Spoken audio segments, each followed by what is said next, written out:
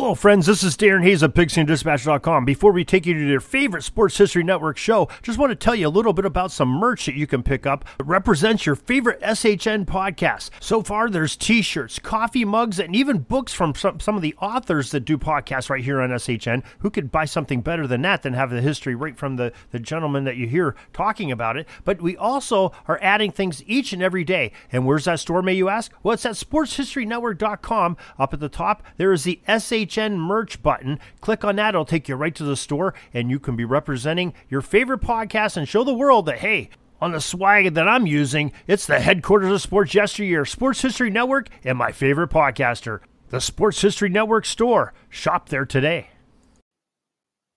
Do you want to start a podcast? I know I did, and you're listening to it thanks to the help of Anchor.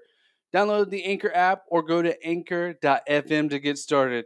It's totally free and has everything you need in a podcast in one place. You can record, edit your podcast right from your phone or computer and distribute it to listening platforms like Spotify, Apple Podcasts, and many more. Everything you need all in one place, completely free. What's stopping you? Go get Anchor. One of the greatest football coaches of all time, an influencer who made the game what it is today possible. A man from a background that sounds like a movie like The Princess Bride. A man who had credits in acting in multiple theaters. A man that we hear his name every single year but no one ever talks about who he was. That man is John Heisman, who the Heisman Trophy is named after. We're going to jump into his life, his career, what made him so unique and amazing in this episode of Sports Moments. Let's jump into it.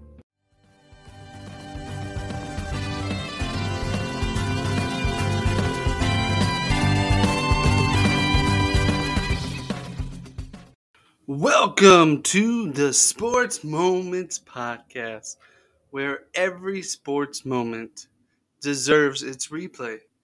I'm your host, Ethan Reese, your sports historian and giant goofball, which best describes this show sports history and goofballness thrown in there.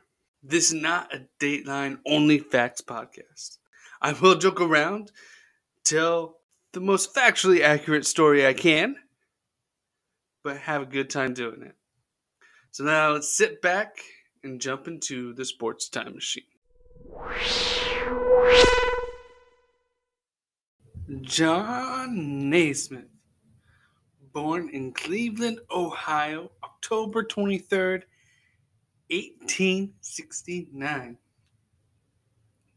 It's a long time ago. In 1869, just a look back, Ulysses S. Grant, a major general in the Civil War, which recently was just ended, was president on March 4th. And Andrew Johnson was just finishing his presidency and it was a transition to Ulysses. Other major things that happened in 1869 Jefferson Davis, who was the president of the Confederacy, had his treason charges dropped. Obviously, after the Civil War, this was a contentious time and they dropped those charges. Also, this year, the American Museum of Natural History started in New York City this is the one that is in all the Night at the Museum movies. Very famous, very popular museum. And this year also, the Golden Spike is driven, marking the completion of the first transcontinental railroad in Promontory, Utah, connecting one end of the country to the other by railway for the first time. This year, also, the Cincinnati Red Stockings opened baseball season of the first fully professional baseball team. This is the first team where every single player was played. And John Wesley Hyatt patented the first plastic. The world's first rodeo was held on July 4th this year in Deer Trail, Colorado. And this is fitting, was also the first intercollegiate football game between Rutgers University and Princeton University, where Rutgers won six to four in the very first college football game, which is very fitting for the story of John Heisman, one of the greatest, most influential college football coaches of all time. Now, John comes from a unique background that dates back to Europe. And here is a little bit of his story of how his parents came together. Michael von Bogart was John's father. He was the son of Alsatian noblemen from the eastern France. And one day he gathered the townspeople to notify them of their new princess. He got on the ledge and said, Kingdom, I have picked a princess, a commoner like yourselves. Kneel for Princess Buttercup. And everyone kneeled, and slowly the beautiful Princess Buttercup walked out into the commoners. Except for one person, the father of Michael von Bogaert, Baron von Bogaert, stood up and yelled, Boo! Boo! Boo!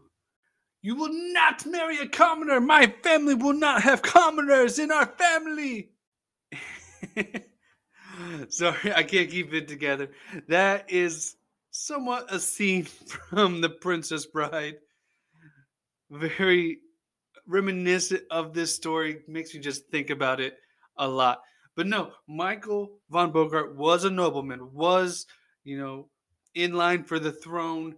You know, Baron von Bogaert was his father, was the the, the king or the the nobleman of the time. And he disowned this connection. And just so you know, John Heisman's mom was not named Buttercup like in The Princess Bride. Her name was Sarah Ann Heisman. Notice that. So when Michael didn't want to follow in the nobleman life, so he's like, I'm running away with his true love. They went to America. And he adopted his wife's name and became Michael Heisman. And that is how John Heisman became John Heisman and not John von Bogart. And luckily, he came over here and could grow the game of football because that was not a popular sport over in. So John grows up in Titusville, Ohio, and he goes to a couple of Titusville elementary schools where he's remembered for enjoying bobsled riding, which we were bobsledding back then. That was a thing. And who had a bobsled? This just blows my mind that we were bobsledding back then. Crazy, crazy, crazy. And so he was just know, known as, you know, the kid around town liked to do sports, but bobsledding for some reason was the one they talked about. Until 1984, when his world was changed forever and it changed the course of American sports forever when Titusville High School put together their first football team. Backyard brawl was what they played more back then and they showed them more structured, civilized games. John Heisman bought a rule book for 10 cents, which was a lot of money back then. He put, he saved up, got, got it for him to learn. And he, it said he retired to seclusion. He was a great avid reader and he wanted to learn everything about this game. He labored over such puzzling terminologies as a touchdown, safety, offsides. This is all part of the game back then. And it's just like you don't know a sport when someone watches football for the first time, they don't know what's going on. What's a touchdown? What's the safety? Or if you have someone from another country come, they don't understand the sport at all. So you had to explain it to them. But there was no one around to explain it to him. He had to read it and learn it that way. John later reported that the high school team had little use for the fuzz buzz of the official rules. And instead, the 15 man team had the time of their lives assaulting a black rubber ball down the expansive field. The ball belonged to whoever was strongest or fleet enough to take it. It's more like rugby than football, but that's how they played. Titusville High School football in 1884 to 1886 were formative years shrouded in obscurity. No information exists about the local team eh, during its first three years of existence. It's a small kind of club like thing. Of course, it doesn't exist. You don't go around to the local pickup games and keep track of everything now. Why would they keep track of it then? So all they have is John's written recollections in a brief 1885 newspaper item, which mentions the high school team and one of its members, William Johnson, which is probably John Heisman, because sometimes he was written as William J. Heisman.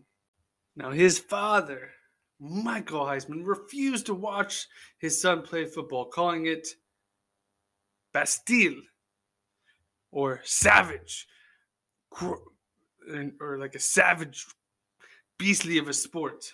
Little did he know that his son was kind of a football genius. It would modernize the sport into being less savage than what it was at the time.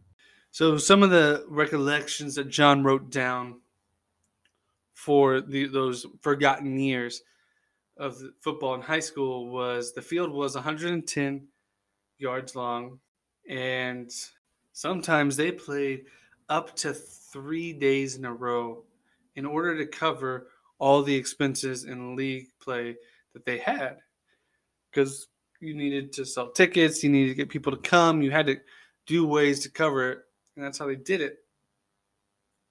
And league play didn't start until 1902, so this was all basically club style. This was grassroots, really getting the game started, really forming the game. So John graduated in 1887 we'll jump into this a little bit, but John was was into drama as well. He was not just a jock; he was into drama. Loved Shakespeare, loved performing, and lot of his speeches were like performances to him. His chance to really go out and use his Shakespearean knowledge to impart his wisdom on the, the players he was coaching. And he was the salutatorian of his school which, judging by the size of the area, there may have been five kids. So to be this salutatorian, not that great, but you know, you can have some very smart people in a small area. So who knows?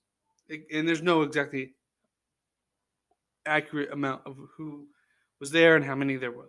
But they described his speech at the graduation as a dramatist and a sermonizer, full of dramatic emphasis and fire, and showed how masterpieces of Shakespeare depicted the ends of unchecked passion.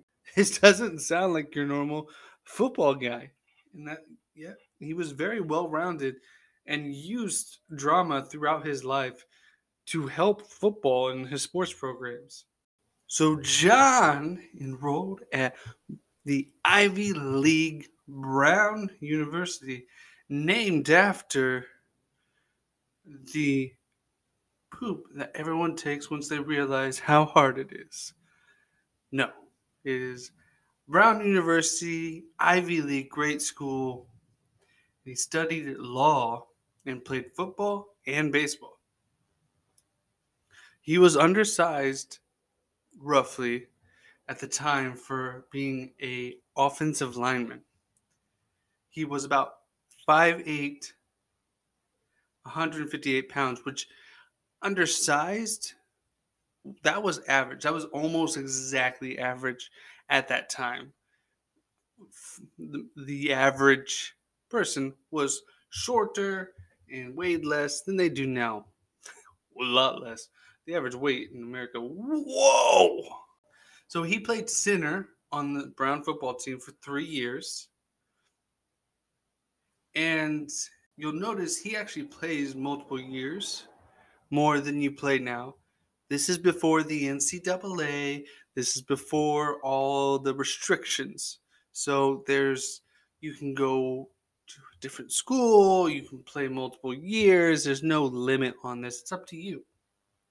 So he played three seasons there, and he temporarily dropped the sport while he was there, and then he transferred to the University of Pennsylvania, where he studied for another two years and played there as well. And he had this great plan. Remember, he was a Shakespearean dramatic actor, which you know those make great lawyers. He was planning to be the greatest lawyer in America. No, but he did, he wasn't wasn't his plan. He just wanted to be a lawyer. That was his goal.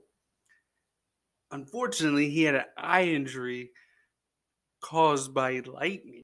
Not struck by lightning, but it struck so near that the flash injured his eyes.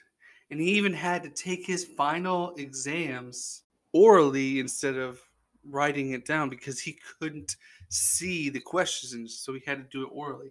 But he still passed, still graduated, so still had the knowledge, was able to do everything, which is really impressive too, because if you can't see to take the test, you can't read books. You have to remember everything that is being told to you in class. So, great mind. So, after this, he decided to go into his love of sports. He became the first coach at Oberlin University in 1892. And that year, in their debut season, this first season, they had a perfect season. Now, obviously, they didn't play as many games, and having a perfect season didn't mean you won the national championship or anything. That wasn't a thing back then. But there was one game that is disputed against Michigan. This was, I know you, you're you're going to hear these small schools playing these big schools now, like Michigan, Ohio State. They beat Ohio State twice. No way Oberlin now beats Ohio State twice. Both schools are still around. Both schools have football team. Oberlin is a Division three school, no scholarships. Ohio State, one of the great, greatest football programs in the country they played each other, it would be a massacre. But back then, they beat them twice. And you played the same team twice in a year. It kind of shows you the limitations of who had a football team and who you were playing. But against Michigan, the, the score is debated who actually won this game because one of the referees was an Oberlin substitute player. And he ruled that time expired before Michigan scored the final point. And Michigan scored the final point with no Oberlin players being on the field. So Michigan can say they won in their books, but really they didn't win anything according to the actual official. All this stuff is kind of circumstantial back in the day. Things were a lot more loosey goosey with the statistics and the tracking of information. So in 1893, John heads over to Buchtel College, just an hour down the road, to take over the football and baseball coaching positions. Fortunately, he had a losing baseball season, but led the football team to a 5 and 2 season. And this is where he invented, created, whatever you want to call it, the snap.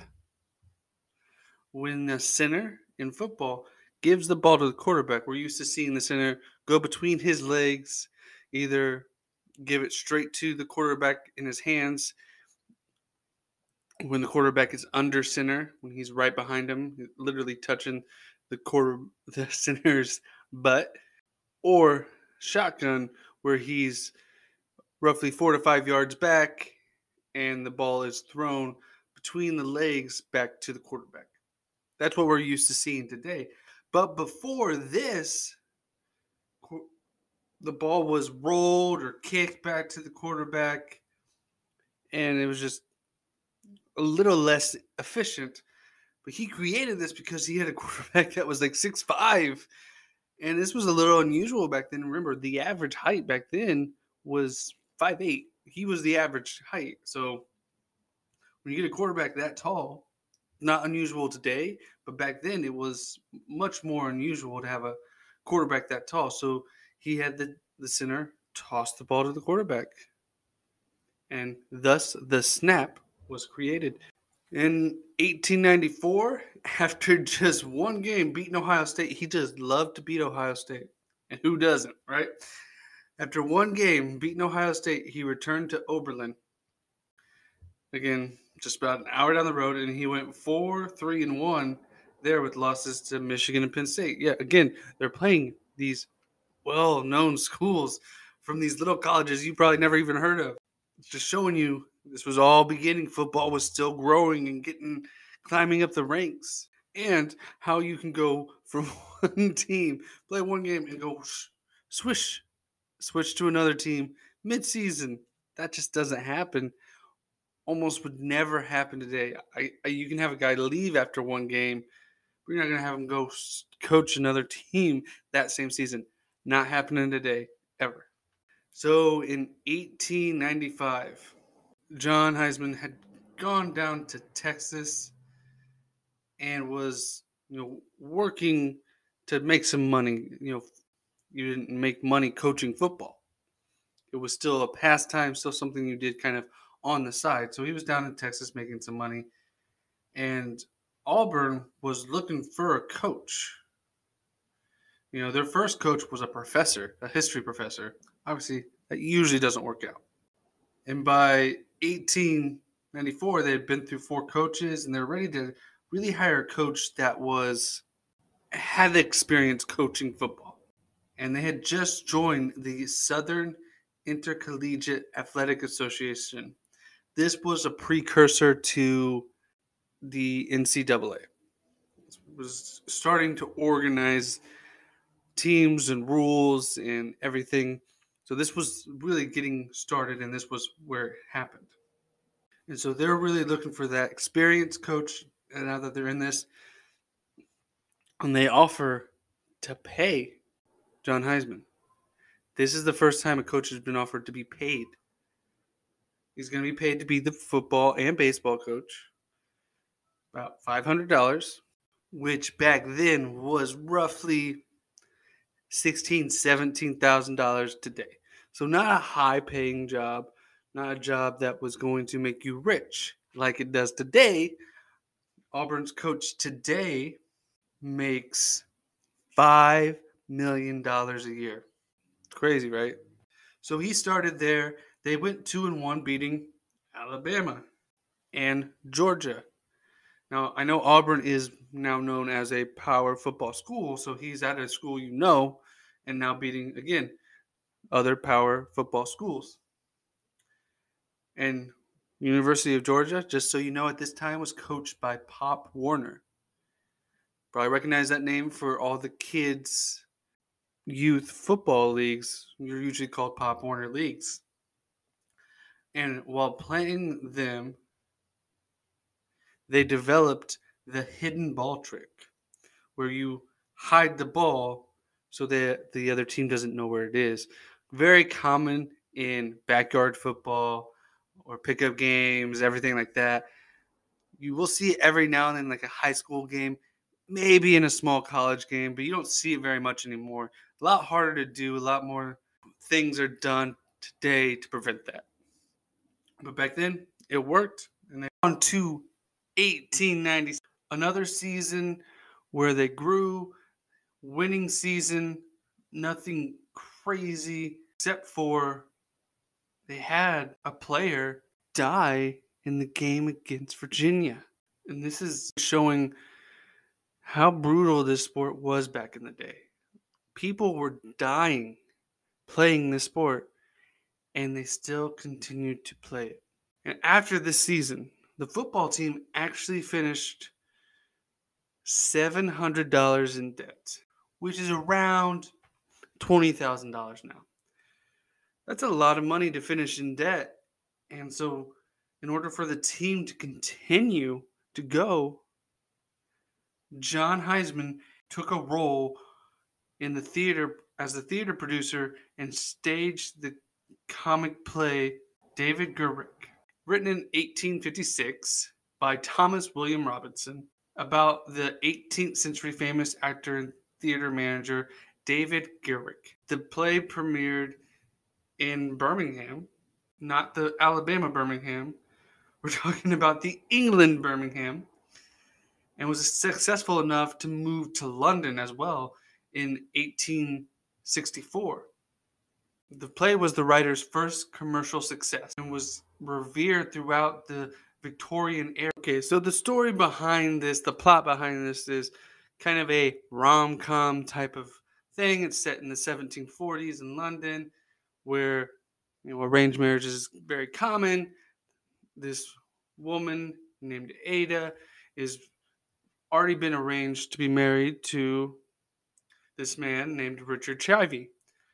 And she doesn't want to marry him. She is infatuated in love with this David Garrick character, this actor, producer character. And she's in love with him. Her father confronts him, says, Can you stop this? Can you like shoo her away or anything like that? He says, I don't even know her. I can maybe talk to her and just say, There's no way. I'll, I'll convince her that there's no way we can be together.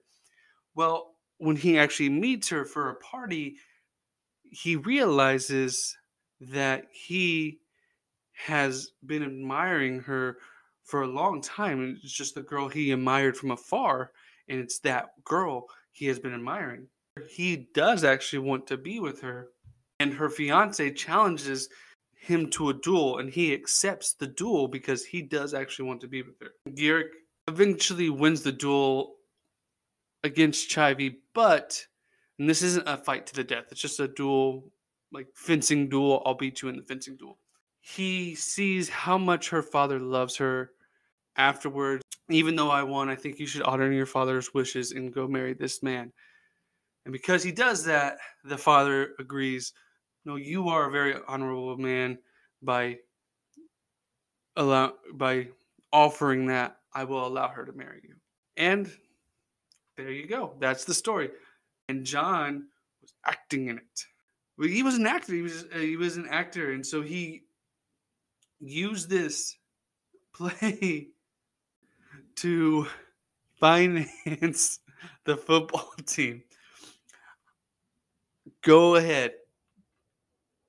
Go out there. Find any time this has ever happened before. I cannot I cannot tell you there I can tell you one fact I know for sure is that there's never been another football coach that took an acting job to to support the team. Just imagine like the LA Rams, Sean McVay, you know, we're, we're in debt a little bit. You know, can you go run this action movie with Dwayne Johnson? you know, you got the face for it. You're, you're a likable guy. You look good. You're smart. I think you can do this. Let, let's go, you know, um, Rampage 2 with Sean McVay. You include the football team in it. It's going to be a great thing. The football team takes on, you know, all these giant creatures with Dwayne Johnson. I think it'll be a great movie. and no, great movie idea, right? I think that would be work. I think it's just a crazy, crazy thing. And we'll go in a little bit later onto his acting stuff because he did act throughout his life. It wasn't just like this time. You know, he continued to act here and there, and like he wasn't just sports oriented. He wasn't just sports oriented. He loved acting. He loved the theater. So having made enough money for another season in 1898, the team won two out of three games, losing only to the undefeated North Carolina team. And yes, they only played three games. Remember, scheduling was different, and he probably only made enough games for them to play three games.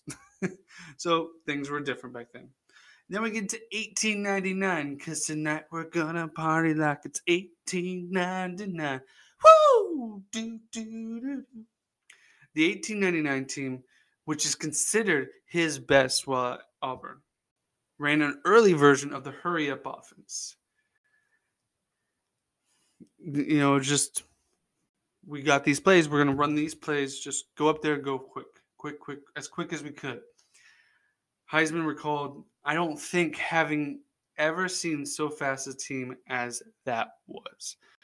Very common when you're doing something new and he, this season, he also did some other things that may have not been so good. in one game against Georgia, uh, he had fitted the linemen with straps and handles under their belts so that other linemen could hold on to them, preventing a like a Red Rover, Red Rover kind of situation where you're holding onto each other's hands and you have to break through that line. He was creating that kind of situation. You had to break through and it obviously that wasn't legal or anything, but it wasn't like in the rule books. It's one of those things that you can do it because it's not in the rule books, but we'll put it in the rule books tomorrow. And so umpires literally had to cut them so they couldn't use that strategy continuing. And they they lost just one game, 11 to 10 to the Iron Man. Am Iron Man. Their mascot obviously was, you know, Tony Stark with Iron Man. No, I, the Iron Man of Shawnee. Just more based off the men making iron in the area, not the actual Iron Man. He wasn't even thought of yet, and that will be another few decades, multiple decades, before he's even thought of and put onto a comic book, let alone a movie screen. After that 1899 season, John Heisman left and was going to Clemson. And he wrote a farewell letter that I'm sure he did in his most thespian way. And he said, Tears in my eyes and tears in my voice, tears even in my trembling hand. You will not feel hard towards me. You will forgive me. You will not forget me. Let me ask to retain your friendship can a man be associated for five successful seasons with the grand old Auburn, toil for her, befriended by her, starve for her, and yet not love her? What? That is actually the letter he wrote. Very grandiose, very Shakespearean theater like. That is John Heisman in a nutshell. And I imagine his speeches were like that, where the players are like, "What did what did he just say? What what? I I don't understand what he just said." I'm not saying football players are dumb. I'm not trying to say that, but I would be like, "Wait, what?" Usually it's like rah rah rah. This was this is deep. Very deep. so John Heisman, a very deep man, a very Shakespearean man, a Renaissance man. So John Heisman was hired by Clemson University to coach football and baseball. He coached at Clemson from 1900 to 1903, and he was the first Clemson coach who ever had experience at another school. This is something you see kind of throughout his tenure that schools are starting to realize football is a draw to their school, and we need good coaches to be able to have a good team. He is still the highest winning percentage in school history in both football and baseball, which is impressive when you consider how good Clemson has been recently, at least in football. Baseball, not widely known, but he still is the number one guy that over a hundred years later. It's a lot of time. he also got a pay bump. He got a raise of to $1,800 a year, which equates to about $60,000 in today's money. So he's getting to a point where, like, even today, that is sustainable money. Kind of the average office worker makes around that or a little bit below that. So he's getting to a good salary through his sports. So this was a big raise, a big boost to him. While he was there in his coaching for the baseball team, he went 28 6 and 1. For the football team, he won SIAA titles in 1900, 1902, and 1903. And by the time he was hired, he was the undisputed master of Southern football. You'll, you'll notice as we go through the little tactics that he does, he is so much like Bill Belichick, finding little loopholes or little changes that, you know, you don't think about. And you're like, cheating or is that just being smart? And I know a lot of people hate Bill Belichick and a lot of people love Bill Belichick, but he is a very intelligent football coach. And he finds these loopholes. And let me tell you, even though they're loopholes, if you think you got a chance to win, wouldn't you try it too? In you know that first season, they went six and zero. Oh. They beat big schools like South Carolina, Alabama, Georgia, and VPI, which eventually becomes Virginia Tech. This is also the year that Heisman joins Spooner Dramatic Company in Tampa, Florida. He's still acting. He mainly does this in the summer. He's an actor in the summer, and he still goes and acts as he is coaching. He, he never loses that love. It's still a big part of him. But I don't know what he acted in that year. In 1901, Clemson beats Guilford on opening day 122 to 0, scoring the most points in Clemson history. And then the next week, they tie Tennessee 6 and 6. They finish the season 3 1 and 1. I, I, I it's so hard for me to fathom going from scoring 122 an almost unfathomable football score to six the next week. Obviously, the competition probably between Guilford and Tennessee very different. Would be very different today. You probably know Tennessee football. Probably never heard of Guilford.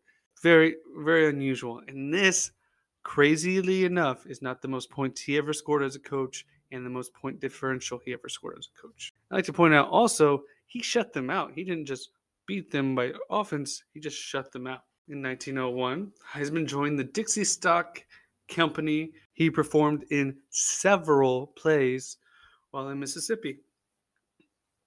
There, he actually received his first romantic lead uh, as Armand in Camille play, and it's kind of like Pretty Woman. Guy falls for a call girl, prostitute. Um, they fall in love, but a little bit different in this story is that she loves him so much she doesn't want to ruin his reputation. And so she leaves him so he can live his life to the fullest. And she just goes back to what she was doing. So a little different kind of happy ending but you know it's kind of under those lines. I will say this this found very interesting. It's called camellia because that is a flower and that is it's called that because that's how you would know whether she was good to go as a prostitute. It would be white, or if she was menstruating, it would be red. They should put she put that flower in her hair, and that's how you would know. Wow, that was that was unexpected. It was very promiscuous and very surprising to me. Interesting, very interesting.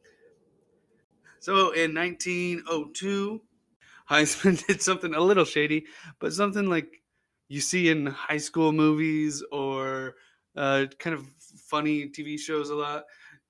He he sent uh, a player before the Georgia Tech game to take all the players for Georgia Tech out for a party that whole night before. And so his team was well rested and went against Georgia Tech and they beat them 44 to 5 because they were so exhausted and so hungover from partying the night before.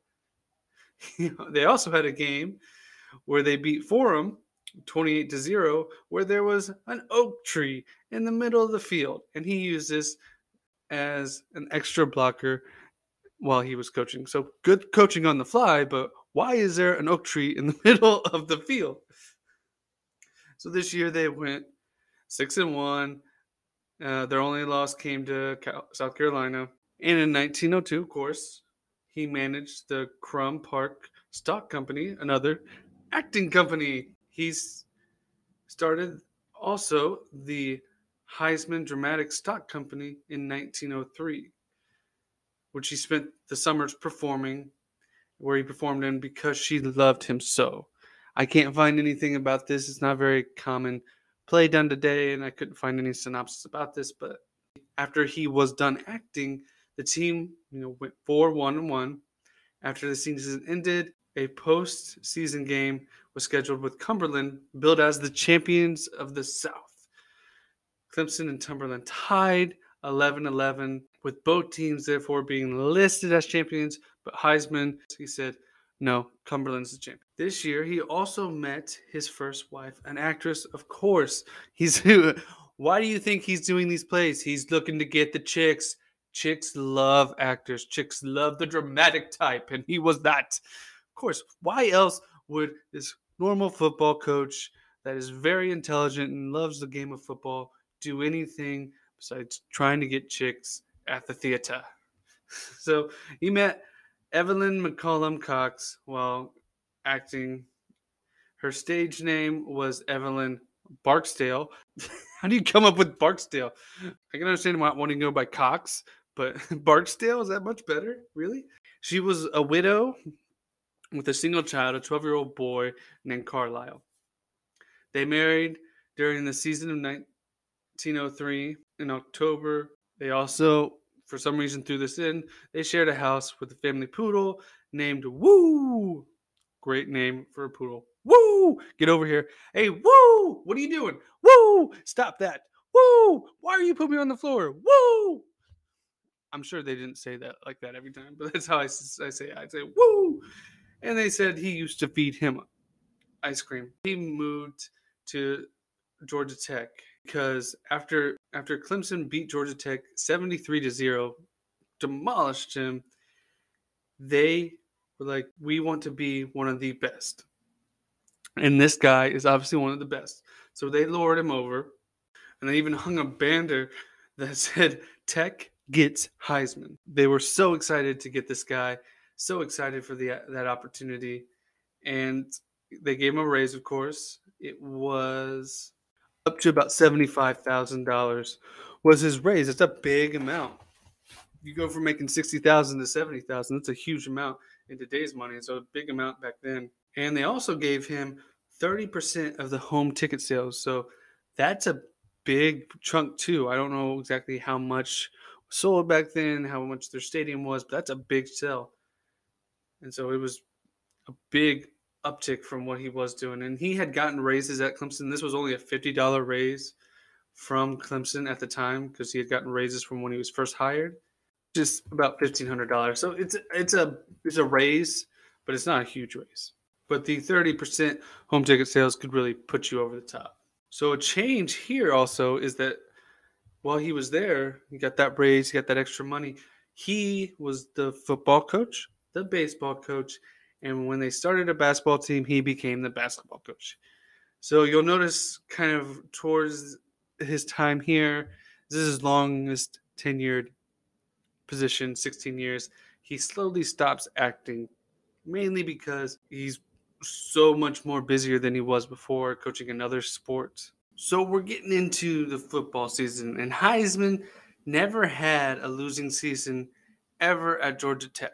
He took this team that wasn't a great team, always a punching bag for him when he was at Clemson, and he built them into a perennial, wouldn't say power, but eventually he got them to that point But in his beginning years, he brought he got them into a respectable team. The first season he was at Georgia Tech, they went eight one one. It was their first winning season in over ten years. So he took this down on the luck team and he made them respectable. The next year is when they adopted their moniker that they go by today, the Yellow Jackets. They have a more fierce name, the Yellow Jackets. We'll sting ya. We'll sting you on the defense. We'll sting you on the offense. Boo, boo, boo, boo. I don't know why they chose that. But they went 8 0 and 1. And he was getting known as a wizard. Like we said, he was a master of the Southern you know football and now he's becoming a wizard because he's doing all these creative things and challenging the status quo after the 1905 football season the chicago tribune reported 18 players had been killed and 159 seriously injured players that year in college football. That is a lot. Just imagine if that happened nowadays. There's no way this sport would still be played. So it even caused the president of the United States, Theodore Roosevelt, to demand that they do something to change what was going on in college football. We cannot have our young kids dying or ruining their lives physically because of a game. And this started the what we know today as the NCAA. So they could form safer rules and eventually, you know, organize better into having championships. And one of the coaches, they put together committees and groups of people to help with this. And one of them was John Heisman he helped create rules like legalizing the forward pass and later changing how the games were played instead of two halves, changing it into four quarters for safety to allow more rest time for all the players. So then we go on to the next year, 1906. They created the jump shift. Yeah. This is the first time they used the jump shift versus Shawnee University. And what the jump shift is, is when everyone but the center moves at once. You may have seen this sometimes. It's usually done in trick plays. He used this and eventually he develops it and uses it more and more really to catch the other team off guard and give you an advantage. So if you move everyone to one side and you hike the ball and you run to that side, all your players are on that side, can really help you block and have more opportunity where the defense wasn't ready for every single player to be on that side and their their defense more becomes reactive than being able to dissect what was going on. The next year, that was his worst year at Georgia Tech. 1907, they went four and four. That's your worst year. That's a pretty good worst year. Until 1915, that's when they start winning championships. They had put together championships for the SIAA. That it, it became more of a conference. Between 1915 and 1918, they had a record of 31 and two. They were great, dominating, and they won four straight conference titles. 1916. This was the year. This is the that has the game, the game that everyone talks about for John Heisman that seems mythical.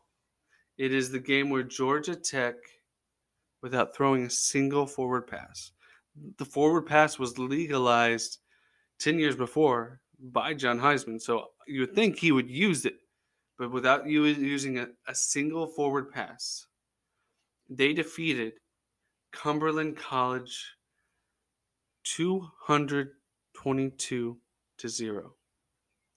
You will never ever see that score again. Ever. It's it's not I don't even think you could really make that happen in Madden if you put it all the way on easy and you are an expert. That is a difficult thing to do. Cumberland's greatest individual play in the whole game was when their fullback ran for a six yard loss. That was their best play. They dominated on defense and offense and special teams completely. You have to just score that. They were up 126 to 0 at the half.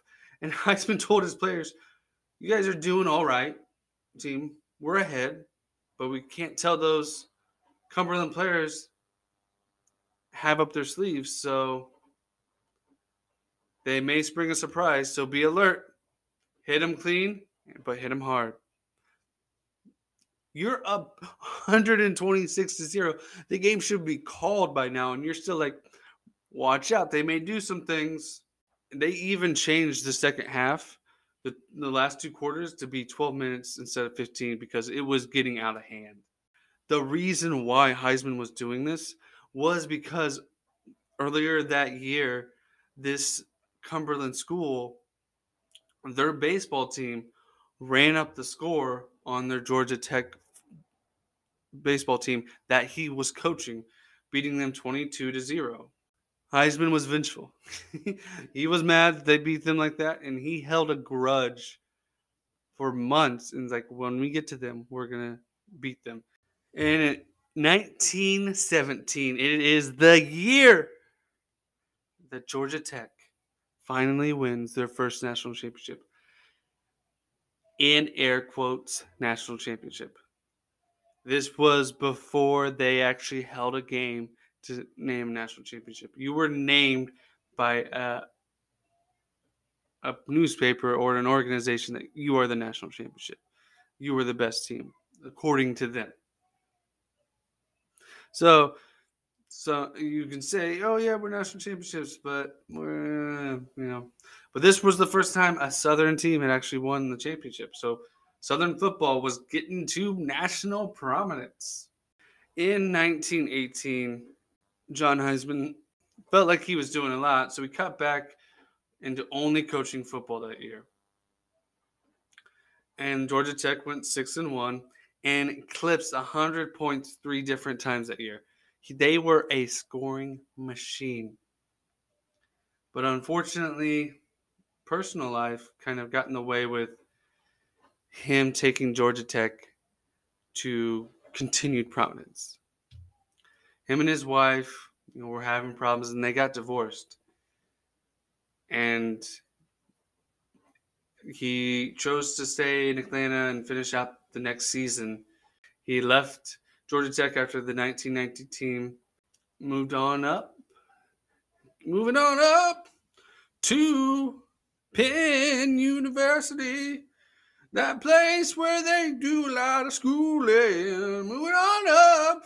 So Heisman went back to Penn, and from 1920 to 1922, he had three winning seasons. Nothing of note really in those seasons. You know, we went six and four one year, four, three, and two, another six and three. So taking a team that isn't very football oriented or very trying to get into it to respectability, but not national prominence. Then he changed to Washington Jefferson, which has a great team name. They're, they are the presidents.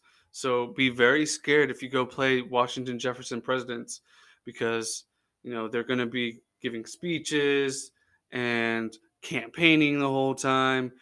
It's a very scary mascot. Very, very scary.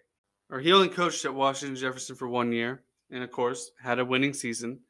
Went six one and one, great season for all accounts. And then he wanted to get back to Texas. He had been to Texas before, so he went down there and coached his final four seasons of coaching down at Rice University. The reason also he chose Rice University is he had met Edith Mora Cole, a student at Buchtel College, which, if you remember, that was the second school he went to. He had met her then when he was coaching there, and they met again in 1924 when he was finishing up at Washington Jefferson. And she was in the area. At that time, they decided, you know, we're hitting it off. Let's get married. And then they decided to, you know, move down to Texas and restart our lives. After he accepted that position After they were married, they went down to Rice University, where he became the full time head coach and athletic director. He only had one losing season, so all the rest were like about 500. And his, his very last season was his only losing season as a coach. His overall coaching record is 186 wins to 70 losses with 18 ties. That is a 71% winning percentage. Very, very high for coach. And we go to baseball.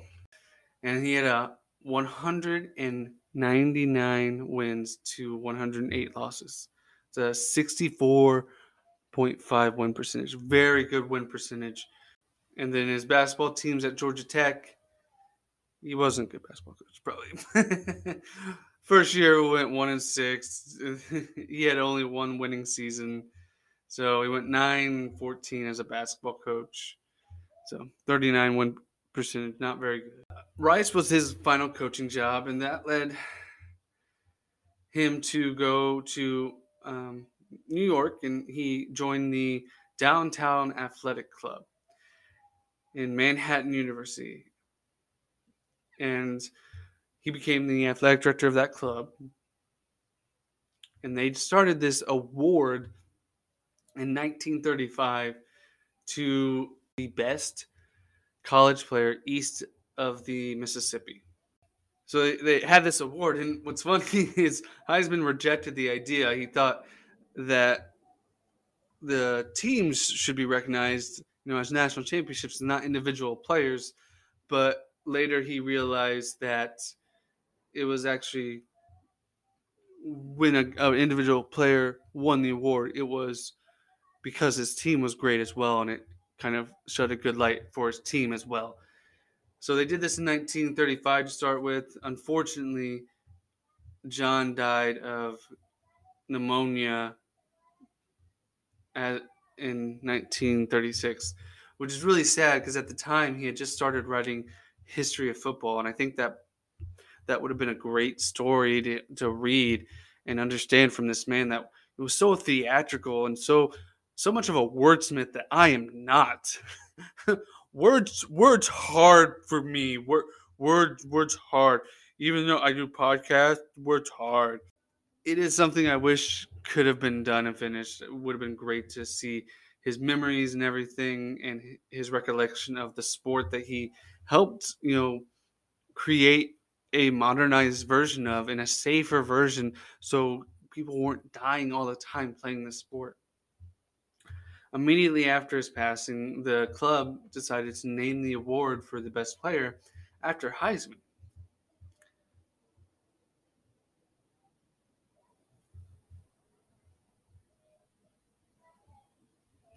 And this is how it became the Heisman Trophy.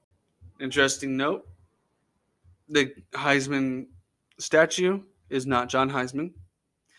It is not necessarily anybody. It is a sculptor's rendition of a football player. He went and had some football players pose, and those poses he made into a sculpture, and that is what the Heisman Trophy is based on, and has nothing to do with his actual look or the look of any player. And it is interesting that a lot of the college trophies now are named after a player that played that position. Like there's the best quarterback, the best running back, the best lineman, the best kicker. All these other awards are named after players. But the best player overall is named after a coach. Very interesting.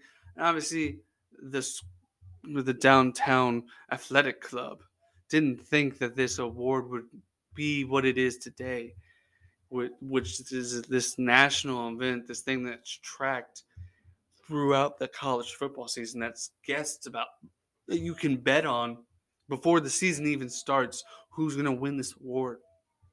It is such a big award, and no one could have guessed that it would have been what it is today. But that is why you hear John Heisman for the best player overall, but you may not know who he is because he coached over 100 years ago and he the award started you know 90 over 90 years ago so it's That is John Heisman and how the Heisman Trophy got named after John Heisman. Let's go through some takeaways from this from this great man and that was a great influencer into the game of football. Number 1, he was an actor. I'm not saying other coaches haven't been actors. There's been plenty of football players that were actors, but he was a, an actor and continuously acted while he was still coaching, which is something that a lot of people maybe act in high school and stuff and then they give it up like as they grow up and go into the adult world. But he loved the theater and his speeches as you could see by some of the things that he wrote and talked about were very theatrical and i think it was very motivational and for the players at that period and that fit him number two if it wasn't by some freak of nature he may have never coached football he may have became a lawyer a lightning struck close enough to him to temporarily blind him enough or cause damage enough to his eyesight that he didn't think he could be a lawyer anymore. He able he was able to get his degree in law through an oral exam because he couldn't see the questions on the paper. And because of that, it led him to a coaching career that was very prominent. Number three, he was the first coach to get paid. Coaches didn't get paid back then, and he worked his way up from getting paid, you know, basically minimum wage today to a, a, a decent salary for a person to coach a game that multiple sports. He coached baseball for years and years. He loved baseball too, and he held grudges in his baseball team that led to his biggest defeat or his biggest win ever in college football. And number five, John Heisman.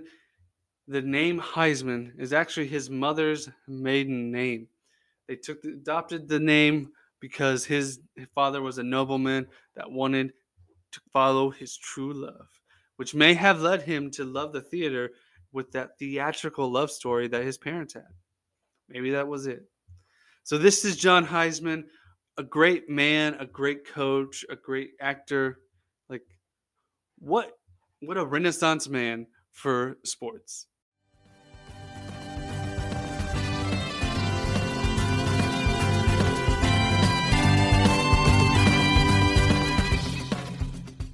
At the Sports History Network, we're all about sports yesteryear, and so we're so pleased to introduce you to Row One, an online memorabilia gallery and shop that brings your sports history to life anywhere. The Row One gallery includes over 5,200 gorgeously reproduced prints of team posters, game program covers, game tickets, advertisements, and more in baseball, pro and college football, pro and college basketball, and more. And any gallery item may be printed in a variety of sizes on wood, metal, canvas, acrylic, or poster paper. And in Row One shop, check out the thousands more of unique unique items with a retro and historical designs dating back to 1876, including t shirts, long sleeve shirts, phone cases, mugs, blankets, pillows, towels, and even shower curtains. Go to sportshistorynetwork.com, ROW number one, for access to the full Row 1 catalog and for gallery prints and gift items, plus get a 15% discount off all prints on the Row 1 Pictorium Gallery with coupon code SHN15. Follow the link on the show notes.